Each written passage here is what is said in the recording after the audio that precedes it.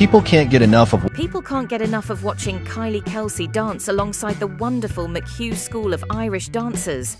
The guys and girls from the Irish Dance School could not believe NFL star Jason Kelce and his wife Kylie Kelce showed up in Media, Pennsylvania to see them do their thing.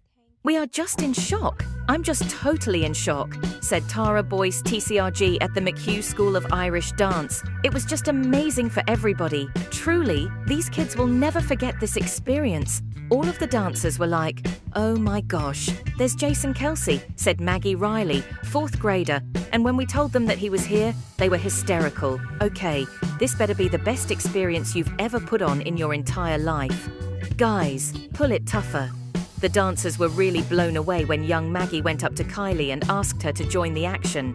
After some debating, Kelce joined in. Aidan Boyce was singing at a show when all the fun happened, so he thought he had missed his chance to meet his idol. However, the power couple asked for a special performance. There was no need for him to be nervous, though, since the Kelces gave him rave reviews. And he asked me how it went. I said it was good. And then Kylie came over and asked me too. And then they asked me to sing for them. And so, I mean, my heart was racing. It's intimidating to go talk to him. But when you actually do talk to him, he's the most down to earth and cool guy that you'll ever meet. He doesn't act like he's a celebrity, like he is. He's just a regular guy, and he's really nice. A really nice guy who, along with his wife, made a whole lot of Irish dancers and their families very, very happy.